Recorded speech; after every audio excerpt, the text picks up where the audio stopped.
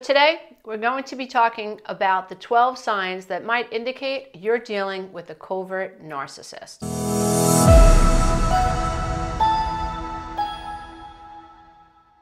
So in this video, what I'm going to do is I'm going to share with you 12 signs that I have found that people who may be a covert narcissist in disguise exhibit, but something a little bit interesting.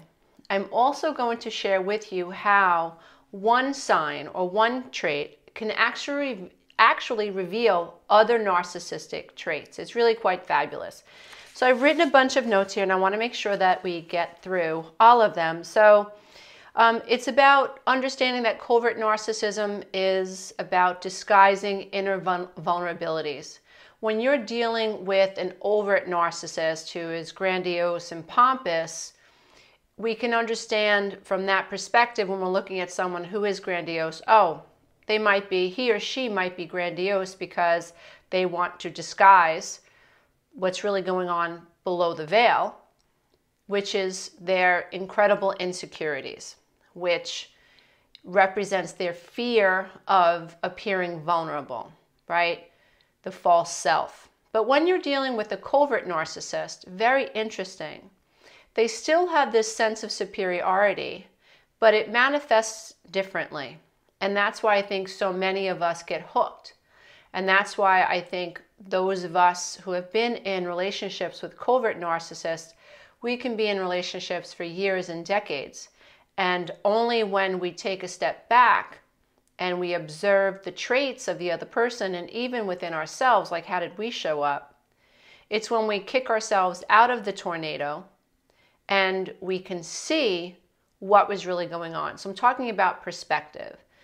I've used this analogy before. If you're a chicken and you get caught up, let's say, in a tornado, you don't know how big the tornado is. You don't even know you're in a tornado. That's what a toxic relationship feels like. When you are in the middle of a toxic relationship, you are so emotionally drawn in. Chaos is looming right? You're walking around on eggshells. You don't know this is a tornado relationship. You're just trying to get through the next moment. You're trying to resolve the current argument. You're trying to make things right in the here and the now. You're not recognizing the fact that you can't get from point A to point B is a sign of covert narcissism. If you are someone who really is looking for resolution, that wasn't even one of the 12 signs that you're dealing with a covert narcissist. So consider that an extra sign. But my point is, when you're in the middle of a tornado, you don't know that you're in the middle of a tornado. You don't know how big it is, how wide it is. It's when you get kicked out of the tornado. It's when, imagine a chicken gets kicked out of the tornado and the tornado is a mile away, that the chicken can think, wow, that was a big tornado. So I'm talking about perspective. When you're in a relationship with a covert narcissist, you oftentimes don't know it, and it is in hindsight, hindsight that you begin to recognize some of these traits. So if you're struggling with what was that all about, what was this relationship all about, maybe this list can help you. So covert narcissists still feel superior, but they're smug about it, and they hint at their superiority. They look at someone who's grandiose and they think, it's so much better if you just, you know, you're just sneaky about how smart you are. You know, make people come to you and find ways to get them to praise you covertly in a sneaky way, which is really, really interesting the way covert narcissists operate. So they don't tell you that they're superior, but they will find sneaky ways to hint at this idea that they think that they're smarter than you, that they think that you are flawed compared to them.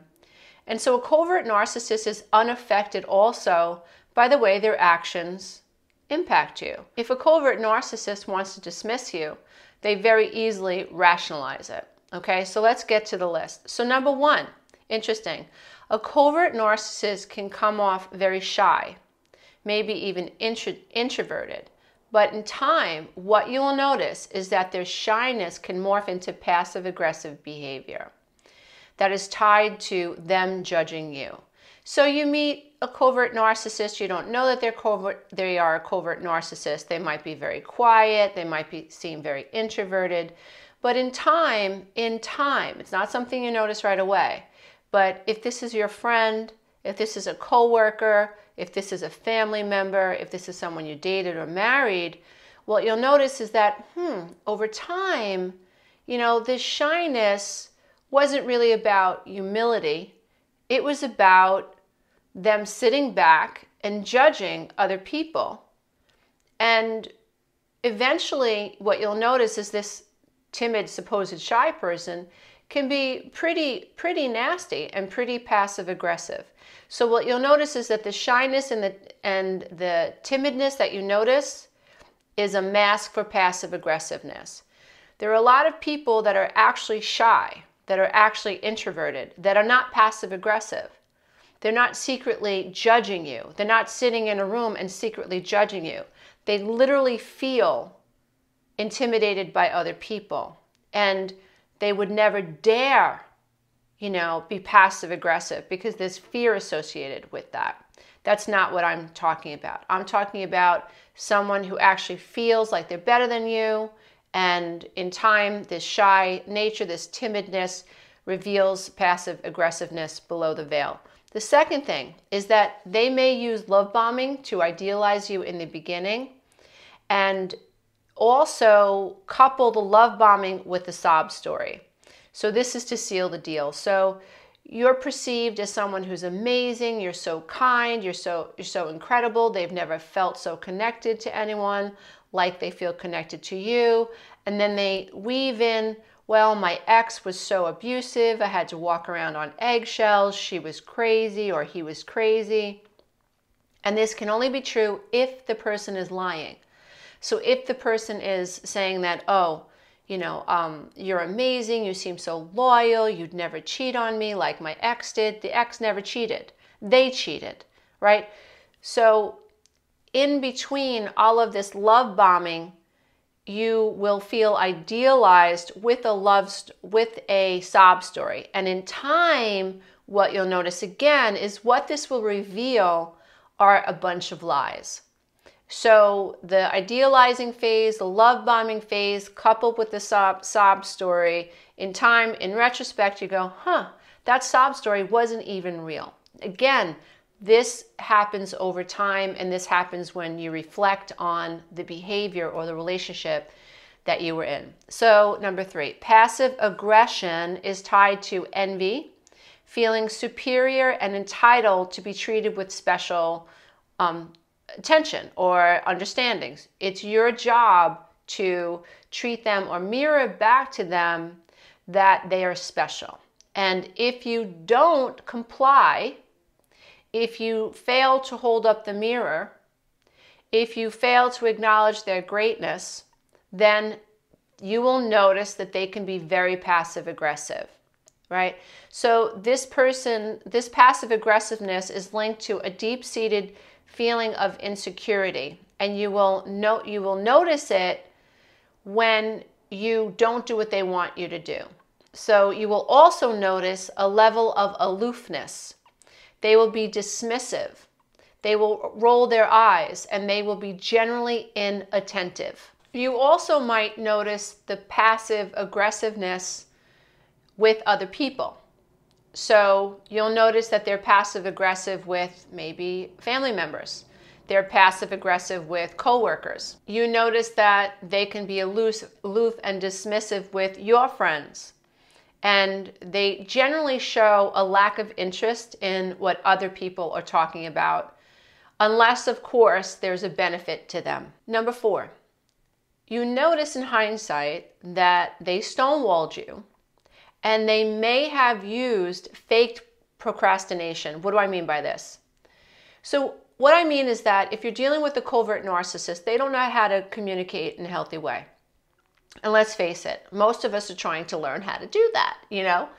And most of us are trying to learn how to meet our own needs and to face our own vulnerabilities and to face our own lack and deal with it, right? Because we recognize that each of us is a mirror to, to, to one another.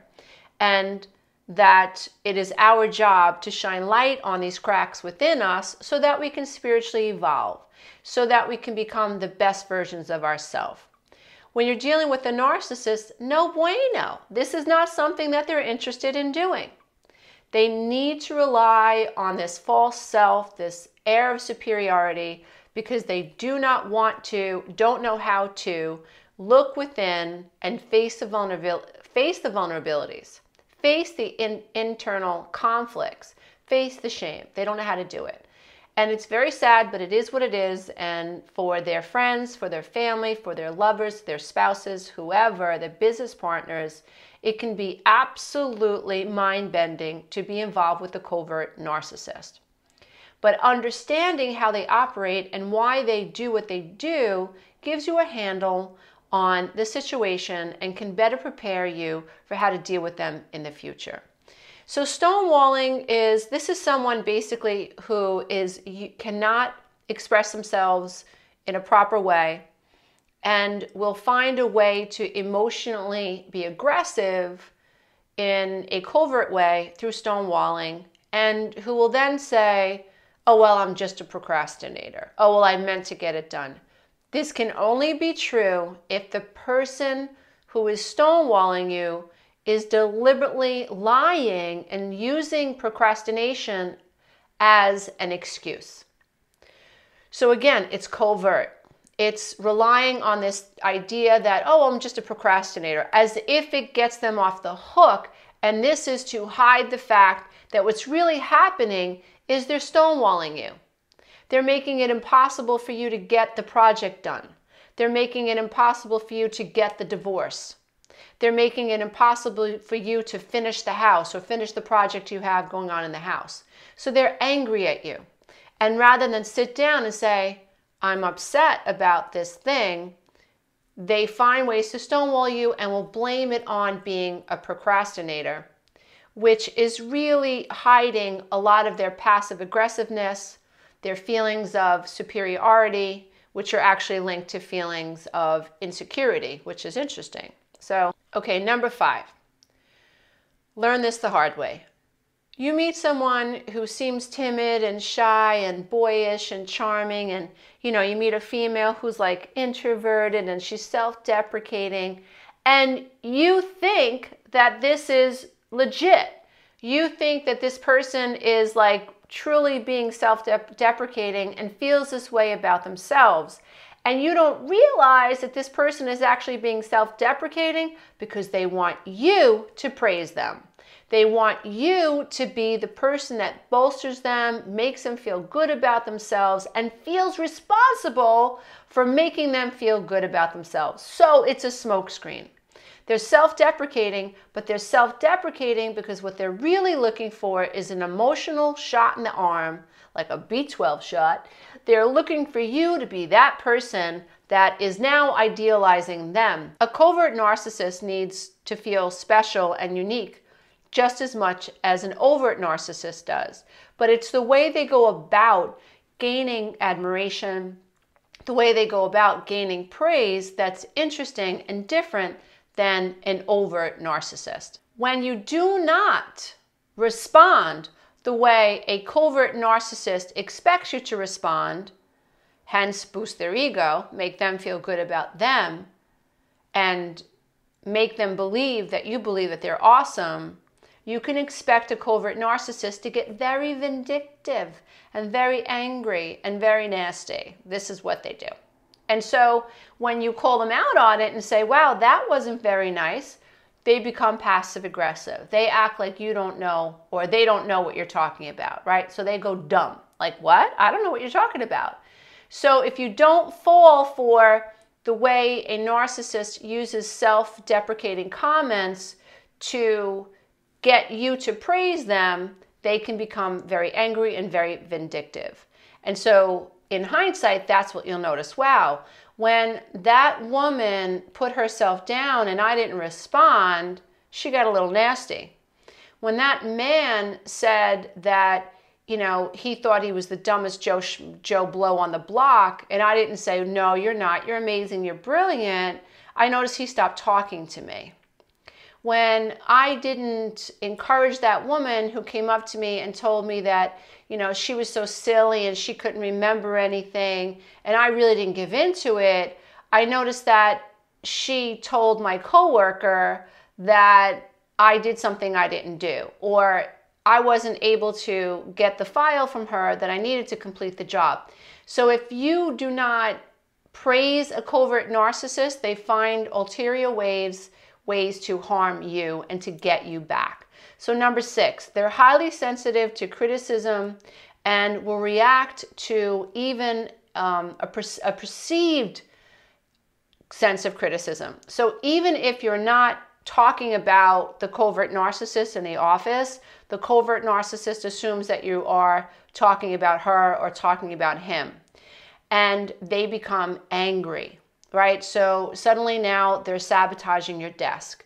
Suddenly they're stonewalling a project. Suddenly they're talking about you behind your back. They're giving you the cold shoulder. You were not talking about them, but they assume that you are.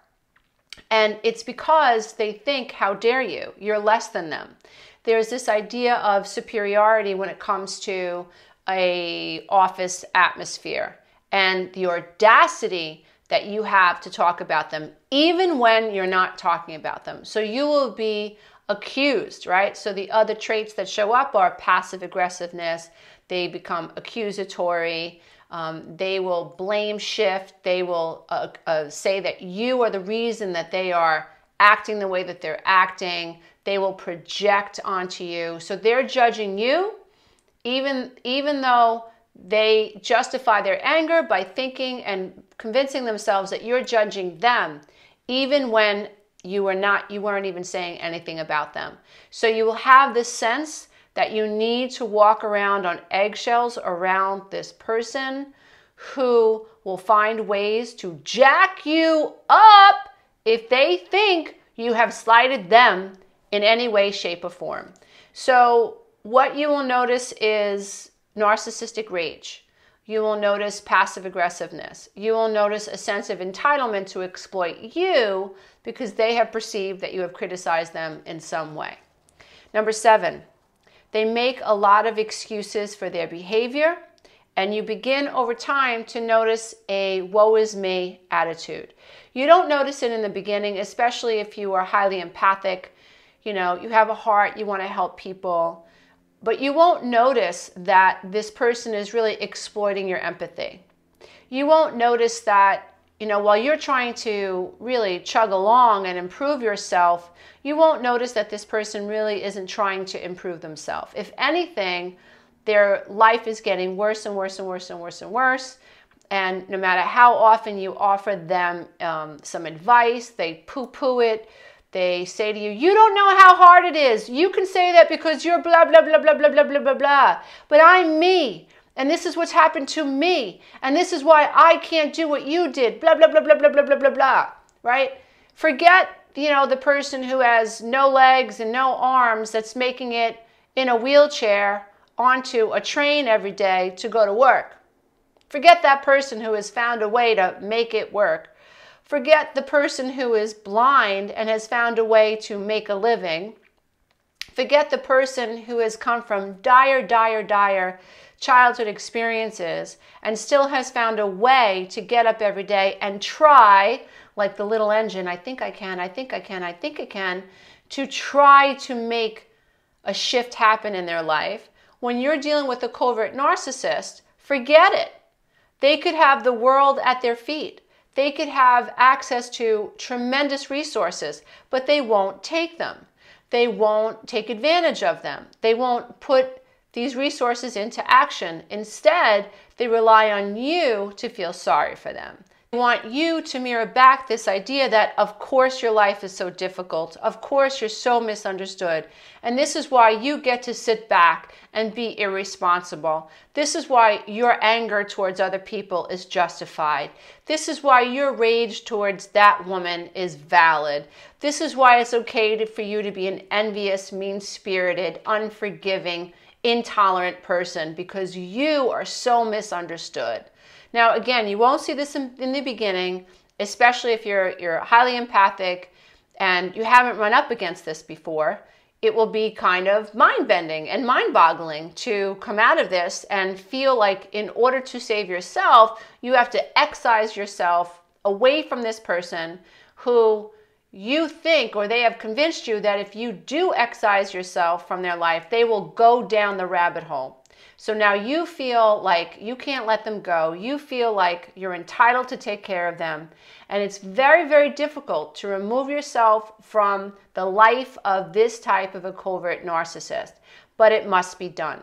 Now, when you no longer mirror back the woe is me and you start holding them accountable, what you might notice again is classic signs of narcissism. The narcissistic injury gets activated. There's vindictiveness, there's passive aggressiveness, there's anger, there's rage, um, there's cyberbullying, there's stalking, and there's triangulation. There's the smear campaign. Suddenly, he or she is talking about you in the inner circle, and you mean nothing to them. You, that in their head, you have hurt them. They don't understand that they've hurt you, they've drained you. They don't see that. But again, this is not something you see while you're in the middle of it. It'll see it. You're the chicken that got kicked out of the tornado, thank heaven, and you're putting the pieces of the puzzle together now. So, really, really important. Um, so, we're up to number eight. So, they crave attention through negative circumstances rather than demanding attention boastfully.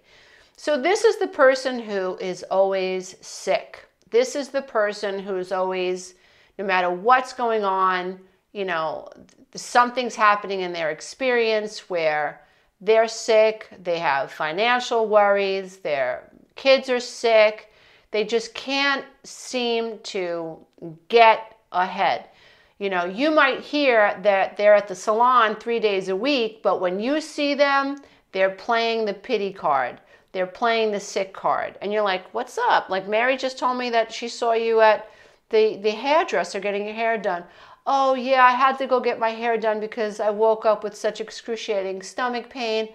What you notice is when you're around this person, you feel heavy.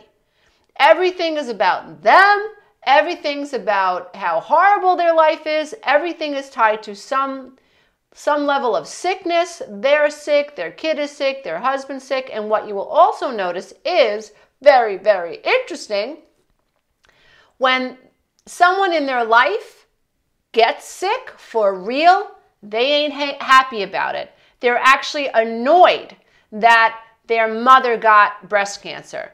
They're annoyed that their sister is sick and, and needed to go into the hospital.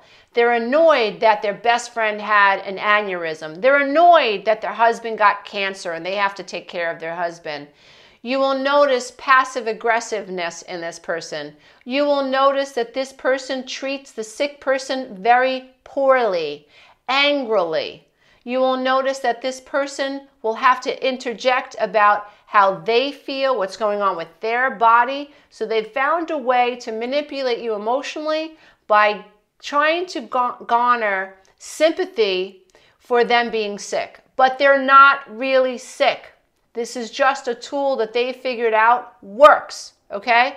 And if you're a normal person, you have empathy for someone who has heart problems. You have empathy for someone who has foot problems. You have empathy for someone who has knee problems. You have empathy for someone who can't breathe, right? Don't you? If you're a normal person, you have empathy for other people, you know? And when you're dealing with a covert narcissist who exploits you on this level, it's mind-boggling. You can't you, you, you don't understand it. Like you have them on your head. Oh, this poor person. Oh, this poor person. Oh, this poor person. You're talking about this person. You're making food for them. You're dropping off trays of lasagna for them. You're walking their dog. You're picking their kids up from school. That's the point. This person's getting free trips to Disney World. For what? There's nothing wrong but you're buying it hook, line, and sinker. And you don't know you're dealing with a covert narcissist. Again, this is not something that you notice in the moment. This is something that you notice over time. This is something that you will feel in your body. Like when you're around this person, you see this person at Target and you're like, oh no, you want to run the other way. Right? Because suddenly they're limping when they see you. Like, I'm not kidding. These people exist. Oh, oh, oh. Suddenly, suddenly, suddenly his foot hurts, or suddenly her heart hurts, or suddenly she can't breathe. Now, I'm not mocking people who have legit, legitimate illnesses. I'm not. My God, I have asthma myself, or I used to have asthma. I don't have it anymore since I got divorced. Amen. But we have to be able to discern how we feel around particular people. Legitimately, there are people who are really, really sick and they deserve our compassion, they deserve our kindness, they deserve our consideration. But there's a huge difference between someone who's sick and someone who's not sick, and someone who might be mildly sick, or someone who might be sick and uses that illness as a reason or a justification to exploit the emotions of other people to garner attention, to garner emotional attention from them, which becomes a source of narcissistic supply when we're dealing with the covert narcissist. Okay? So, now, when you don't pay attention to the covert narcissist who, who limps around you or who suddenly can't breathe around you, because they are using you this way, because they don't want to wash the dishes, because they don't want to have to pick up your kids from school or their kids from school, and they have found figured out that if they play sick, you cater to them. That's the narcissist I'm talking about. Now, when you stop, when you say, no bueno, eh, eh, bye, Felicia, we're not playing this game anymore. I will take care of my children and you will find a way to take care of your children. I will worry about my health, you worry about your health, because the way I see it, I'm hearing from other people that you're just fine and that you are using me and exploiting me for narcissistic supply. When you stop putting that person first, when you stop subjugating your attention, in a room to this person, when the conversation turns from this person and you start having conversations with other people, and this narcissist is no longer able to manipulate the conversation and get everyone to feel sorry for him or her, that person gets nasty. That person will brood. That person will be, slam their fist. That person will want to leave. That person will stonewall you. That person won't talk to you for days, right? In their head, they're angry and you made them angry. They're not self reflective enough, they're not mature enough to work it out and realize how unfair have I been?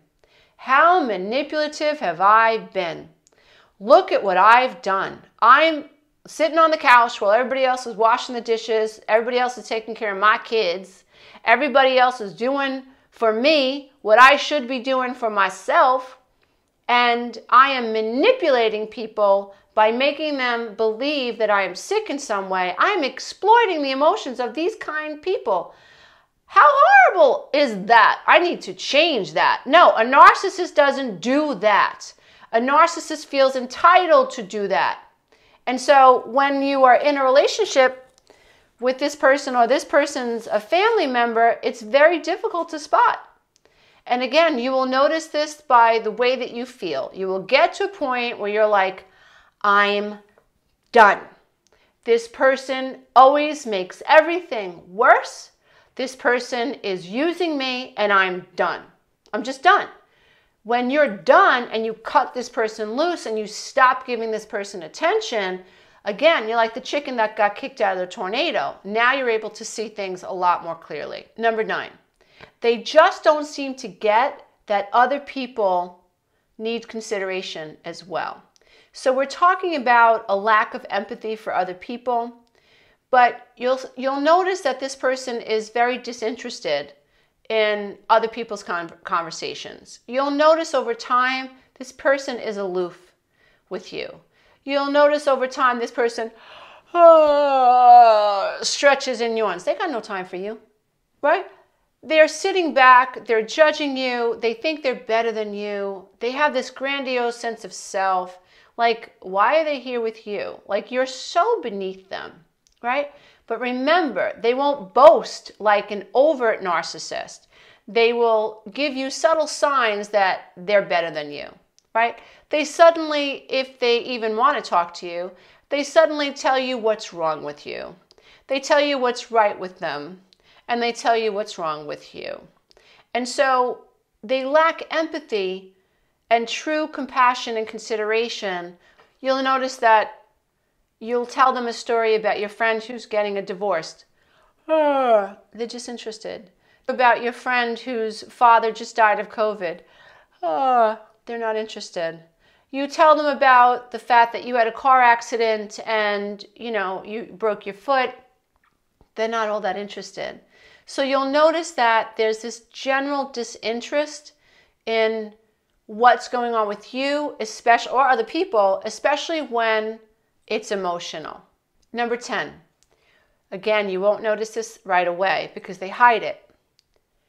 But in time, in retrospect, you'll remember that they had these microaggressive moments. So they had these outbursts, you know, and it shook you. It made you feel uneasy, like, oh, where did that come from? You know, and they might say, you know, they might slam their fist on the table, or they might slam a cabinet, or they might go on a rant about how horrible people are. But it's uncharacteristic. In other words, like it doesn't fit this timid, shy, you know, person who appears to be altruistic. Like they slip, the mask has slipped. And what you'll notice is in retrospect is like there were times where this person was uh, was throwing legitimate tantrums and they were able to justify and what came out of their mouth was she's so stupid. He's so stupid. They treat me poorly. They don't know how great i am. I don't deserve this. So this this idea that people are less than them, and that's the reason that maybe someone called them out, right? So you call out a covert narcissist, yeah, you're going to tickle their narcissistic injury funny bone. You're going to tickle it. They're going to feel criticized, they're going to feel threatened. You become a threat. Now, what they have to do is this lion within has to awaken and that they have to charge at you so they can protect all of their weaknesses and their vulnerabilities, right? That's what this whole mask is all about. So now, when you're dealing with someone, now, when that person gets confronted by another person, it's not uncommon for them to have an emotional outburst. The outburst will reveal envy. The outburst will reveal entitlement. The outburst will reveal these other narcissistic traits and what you will notice in hindsight is that this person got angry when others did not cater to them, when others did not praise them, when others possibly wanted to offer them constructive criticism, when they felt slighted. If they got fired, it's not because they weren't performing well, it was because the boss was jealous of them. So these are other forms or signs and symptoms or traits of narcissism that you will notice as a result of an outburst. Number 11. Some covert narcissists will exhibit this sign apparently. So they're the person in the room that is self-absorbed. They might be really decked out. They might they might be giving you the sense that they think who they are, opposed to the timid and shy um, character trait of a covert narcissist. This is someone who is sitting back in a room full of others and really thinks he or she is better than everyone. So when you notice what they're wearing, they now this is not uncommon for a narcissistic male or narcissistic female. They really utilize, they go over the top when it comes to the way that they dress. They go over the top um, with their sexuality. Um, they, they want to manipulate things that are easy, jewelry, uh, makeup, the way that they dress, um, the things that they, the cars that they drive. So they go over the top with, with this sense of superiority, with things that are easily manipulated, like clothing, for instance, right? Not to say that people that like to dress well and care about, care about the way that they look are covert narcissists or narcissists. No, that's not what I'm saying. If you're not someone who is using your dress because you think you're better than everyone else, or you're not sitting, you don't care what other people are wearing, and you're not looking at other people going, look at that silly peon over there, look at the way she's dressed, and look at me. Or look at that guy's shoes, and look at that guy's hair, and look at me. If you're not doing that, you're not a narcissist. That's not what I'm talking about. I'm talking about the sullen narcissist that sits in a corner has completely decked him out, decked himself out, and is secretly and quietly judging every person in the room. That's what they do. This helps them feel better than everyone else. This is masking a conflict within, the shadows within, the vulnerabilities within that a narcissist is struggling struggling with. No, I'm not this inferior person. I'm this amazing person. It's an ongoing conflict that a narcissist uh, is unable to resolve because they don't look within, right? They rely on all of these ego defense mechanisms. So, you'll notice this air of self-absorption with this this air of importance. So, in their head they're really important in their head, they have really important jobs. In their head, they're really superior intellectually. In their head, their job is so much more important than your job. In their head, you know, what they do with their life is so much more valuable than what you're doing with your life. That's what's going on in their head. And so they're self absorbed with this sense of importance for self. So they're judging you. This will also, the other narcissistic traits that this will eventually show and reveal is a lack of empathy for other people, right? So there's a lack of empathy for you, there's a lack of compassion for you, there's a general lack of interest in what you're really going on. And anything that you reveal to this person, your vulnerabilities, all they're really saying is, is when you reveal your vulnerabilities in their head is it's just justifying why they're better and smarter and more important than you. But of course, you don't realize this in time you look back and you think, wow, you know, she was pretty smug. Or wow, he was pretty smug. Or wow, he was pretty arrogant, no? You know, or wow, she was a little self righteous. Or wow, you know, she really was condescending. And, and wow, you know, when my mother started to talk about this thing, you know, she just got up and left the room. Or when so and so started talking about her sick dog, you know, he just yawned, rolled his eyes, and was like, What am I doing here? This is something that you will notice over time and in hindsight. So, number 12, so there's an inability to genuinely connect to this person on a heart level. You just you just can't do it. You're trying, like you're really trying, but you can't get an emotional connection with this person. You just can't read them. You just can't really feel like you're seen by them because you're not, because they can't see you, right? They are self absorbed, but the feeling that you'll get is that you can't connect to this person you'll notice that this person has a string of relationships and it's always the other person's fault for why the relationship ended ended. So this inability to connect with your friend or this inability to connect with your husband or your wife your partner your business partner your coworker whatever over time what you'll notice is that it reveals aloofness. It reveals a dismissive nature. It reveals an air of superiority over you you'll notice over time that this narcissist wanted people around that could benefit their career. This narcissist preferred to be around people of a, that maybe offered them a sense of prestige. Even if he or she didn't like this group of people, the narcissist would come alive when he or she was around people that could do something for them and do something for their career. But over time, you'll notice that it wasn't real. It never felt real. You were never able to really, really reach out and touch them. And that's because you couldn't. Because the narcissism is like a plane of glass. Like you see them, you can hear them, but you really can't touch them. And they are literally sealed within that glass within themselves. They just don't know it.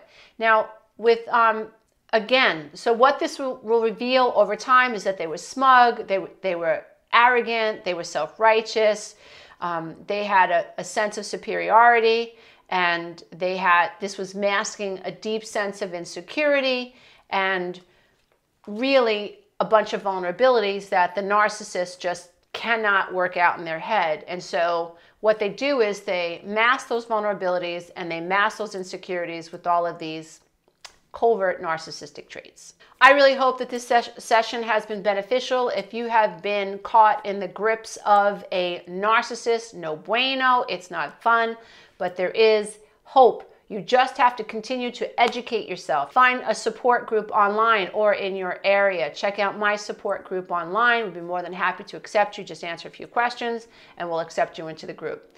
If you are struggling with codependency, if you lack a sense of self, if you tend to manifest narcissistic relationships, if you tend to not know how to set a boundary with someone who's pushing you too far, check out my on demand 12 week breakthrough coaching program. It can get to the root source and the root reason for why you are codependent and teach you the valuable skills that we all need to self actualize, to really heal the inner child so that we're not repeating these patterns from the past. And if you'd like to listen to one of my books for free, all you have to do is click one of the links in the description box. If you want to learn more about me, just go to www.lisaaromano.com. Namaste, everybody. Until next time. And when you're out and about, don't ever forget to think. If you love this content, check out the next video and don't forget to click the link below so you can take the codependency quiz. Many of us associate crazy making behavior with covert narcissists or people with high narcissistic traits. And undoubtedly, somebody who has high narcissistic traits, who is unable to empathize, who plays the perpetual victim, who is charismatic and love bombs you when you first meet them, who, you know, double talks is definitely going to be going to exhibit crazy making behavior.